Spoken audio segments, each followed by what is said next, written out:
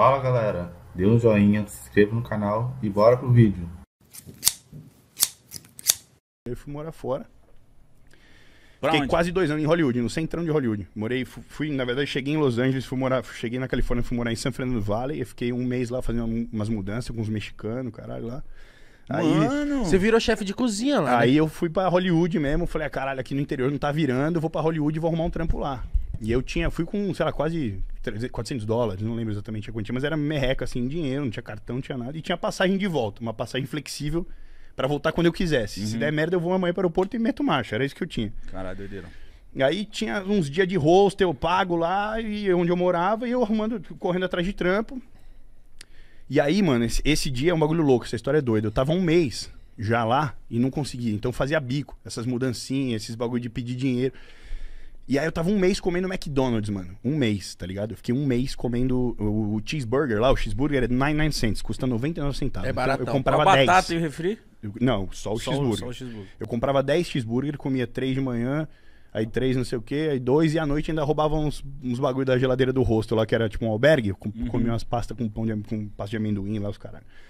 E aí, mano, eu falei, caralho, tá azedando, não vai dar pra ficar, mano, não acredito e tal. Aí fui procurar trampo, passei nos restaurantes e cheguei nesse, que foi o Aroma, que foi onde eu trampei. Falei pro cara, falei, eu, tava eu e um amigo, né? Fui, fui com um truta aqui do Brasil que falava inglês, não falava absolutamente nada, não conseguia falar nada. Eu falei, mano, é, pergunta aí se os caras têm emprego pra nós e tal. Ele falou, velho, o cara, o, o dono do restaurante, era um rabinão, um restaurante israelense lá e tal. Ele falou assim, é, do you know how to do pizzas? Você sabe como fazer pizza? Aí... Lógico. Não, aí eu olhei, Sou pizzaiolo. eu não entendi, né, direito. isso. Aí eu falei assim, pizzas? I love pizzas. Aí meu amigo falou, não, idiota, você não perguntou se você gosta, ele perguntou se você sabe fazer. Eu falei, fala pra ele que eu não sei, mas que eu aprendo rápido e que eu preciso. Aí ele falou, no English? Eu falei, no English. Ele, you go to kitchen. You English? English. You go to bar. E no dia. Aí já me contratou, 9 dólares a hora, pau, aí, meu irmão. Daí foi ladeira Mano, acima mesmo. e você foi aprendendo a fazer os bagulho trabalhando. Não, em três meses eu já tava negociando o contrato do meu apartamento em inglês. Eu já tinha pego todos o tempo das massas, todos os cortes das carnes, e ele me pagou um curso pessoal, porque viu que eu tava motivado. Que foda que esse Aí cara foi virei você, chefe. mano. Muito, Não, mano. esse cara foi uma benção, hein, mano? E ele sabia, velho, ele sabia que eu precisava trabalhar, tá ligado? Eu falei pra ele, ô, sou ator no Brasil, não tô de gracinha aqui, tipo, eu quero realmente fazer o bagulho virar, mas eu não tenho dinheiro, mano, tô fudido. Ele falou assim, você vai se dedicar de verdade? Eu falei, mano, vou dar minha vida aqui. Eu trampava, teve dia que eu trampei 26 horas cortando pepino aqui, assim, ó. Entrava no modo automático, assim, tá, tá, tá, E era um tá, tá. puta restaurante, Então, pô, mano, é a maior bakery da Califórnia, no, na- no centro da Sunset Boulevard, embaixo da Hollywood Boulevard, da calçada da fama. Mano, servi pizza pro Alpatino, atendi Jack Nicholson, Will Smith, ia lá direto, o bagulho no meio de Hollywood, no centro de Hollywood, mano. Caralho, que doideira. E, e pra aprender a falar inglês, é melhor você aprender lá, né? É, mano? acho Deve que ser você-. Acho que você tá lá trocando ideia com o cara. Mano. Você tem que... necessidade, É, isso que eu ia falar. Sabe o que, que me pegou pra aprender a falar inglês? Ah, o rango, mano. Tá ligado? Tipo, eu perguntava pros caras, ô mano, como é que eu faço pra pedir um hot dog lá? Ele falou, chega lá e fala assim, ó, can I have a hot dog? Eu falei, demorou, eu decorava a frase e colava lá. Aí chegava pro cara e falou, can I have a hot dog? Ele, yeah. But you wanting something more like mashed potatoes and ketchup and mustard and sauce and Nossa! Aí eu falava, hot dog. Só isso. I have só hot dog? é, aí o cara me dava o bagulho com tudo, com picles, não sei, eu ficava tirando os bagulho com o dedo, porque eu não comia. Eu falei, não, mano, vou ficar passando esses bagulho não. Aí eu fui, aí eu comecei a andar de trem, de metrô, de busão, de skate, eu começava a trocar ideia com todo mundo, todo mundo, velho. Uma vez, eu tava num busão e, e mano, o, o- os pretos americanos, eles falam muito slang, muita gíria, tá ligado? E é difícil de pegar, porque eles falam muito rápido, é um bagulho deles mesmo. E aí uma tiazinha é, me parou no busão e falou assim, começou a puxar mó papo comigo. Só que eu com long de skate, ela. You like skateboard because in Venice Beach, motherfucker. tipo GTA, mano, sei, GTA, mano, Só que eu não tava entendendo, eu só entendi o skateboard. Só é o único bagulho. And motherfuckers and bells in the motherfucking beach. Aí eu falei, caralho. Aí ela, aí ela acabou a frase falando, So, what do you think about that? Tipo, o que, que você. Aí eu fiz assim. É, maybe. Eu sabia que maybe era talvez. Ela falou uma pá de coisa, talvez. Aí eu falei, Can I maybe. have hot dog? Só faltou eu falar isso. Hot dog. Aí ela falou, what do you think about that? Eu falei, maybe. Ela, maybe? Eu falei, yeah, maybe yes, maybe no. Aí ela falou, do you speak English? Eu, My point, sorry, sorry, sorry. Eu apertei o bagulho, saí envergonhadão e foi assim, mano. Eu, eu vi Você deve eu ter passado várias, Várias, dessas. várias. Os caras do nada te perguntam os bagulhos. Você... não sabia o que falar, velho. Sorry, sorry, no English. Eu, fiz até um sotaque de japonês pros caras entenderem que eu não era dali, né? Sorry, Em sorry. quanto tempo disso você falou, caralho, tô sabendo desenrolar? A primeira vez que eu vi que eu tava falando inglês foi quando enchi o tanque do meu carro e tive que pedir o troco que o cara deu errado. Tipo, eu alugava carro pra fazer driver, tá ligado? Porque eu não, não podia trabalhar todos os dias sequenciais. O restaurante era obrigado a me dar um day off na semana.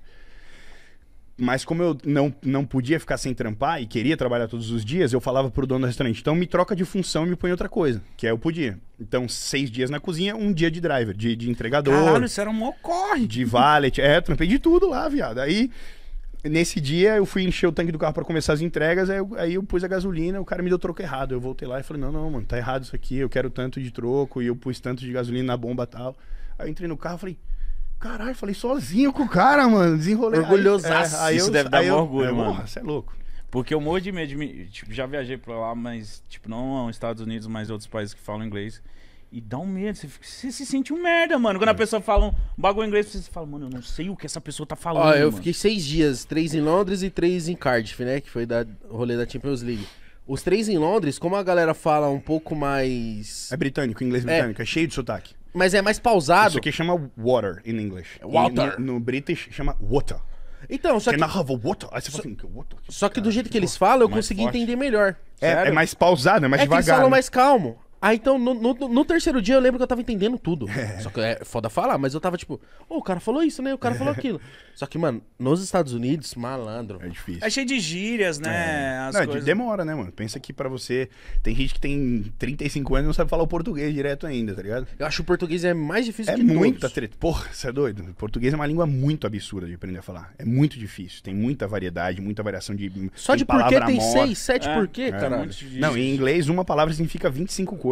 Aqui cada coisa é uma coisa mesmo, entendeu? É muito mais difícil. E você ficou quanto tempo na gringa lá? Entre idas e vindas, dois anos. Eu ia e voltava cada seis meses, né? Porque eu não podia ficar mais que seis meses seguidos, senão eu era. Já ficava ilegal, tá ligado? E por que que você voltou? Você fez uma grana ou, tipo, a- ou te chamaram? Meu filho aqui, ficava muito tempo sem ver, não dava. E aí, mano, minha família longe. Aí eu também comecei a, a ter um lifestyle maneiro lá. Aí isso me pesava muito, tá ligado? Minha família sempre foi meu, meu, minha prioridade, tá ligado? E aí eu olhava e falava, porra, tomar uma vida gozolândia aqui andando de Mustang, porque você, mano, aluga um Mustang lá com 1.050 dólares por mês, você é pau de Mustang um Nossa, conversível. E, cara. mano, eu morava o quê? Lá é, o- lá é outro. Eu ia pra Las Vegas três vezes na semana, velho. Tipo, três vezes no mês, desculpa. Ah, day off, tal, não sei o quê. Pum, Vegas, vambora. Ah, não vai dar pra trampar esse fim de semana? Tem dois dias Vegas, é duas horas e meia, três de carro, tá ligado? Era uma coisa de Aí maluco. você falou, porra, assim. tô toda hora aqui, só que minha mãe tá lá. É isso, eu- aí eu me cobrava de falar, porra, beleza, eu tô fazendo meu corre, mano, cada um sai, mas eu não sei se é assim, tá ligado? Eu tô aqui no Mogozolândia e minha família no perrengue, mesmo que eu tô mandando uns bagulho aqui, não, não tá assim. Eu vou fazer esse corre lá e vou, vou mudar o game lá. Aí eu vim. E aí eu vim com força, tá ligado? Quando eu falei, ó, eu vim. Já veio, já, veio, já veio com uma grana pra se manter? Não, cheguei aqui com 5 mil reais. Mas assim. acho, que foi, acho que você chegou com bagagem, né, mano? Aí eu ponto. Experiência da parada mesmo. É, é, na verdade eu cheguei com sabedoria, mano. Eu já tinha conhecimento, e aí cheguei com sabedoria. E o que difere a sabedoria do conhecimento é como você aplica tudo que você conhece, tá ligado? Você pode conhecer um monte de coisa, você pode decorar um monte de livro, dicionário, assistir. Se você não souber aplicar, você só tem conhecimento. E aí você vai ser um gênio frustrado que não sabe passar a tua- a tua- o teu conhecimento pra ninguém. Então, sabedoria não serve de nada se não compartilhada. E aí eu aprendi a materializar o meu conhecimento. Aí tornou-se sabedoria. Foi Caralho, onde eu mas, comecei mano, a fazer as coisas.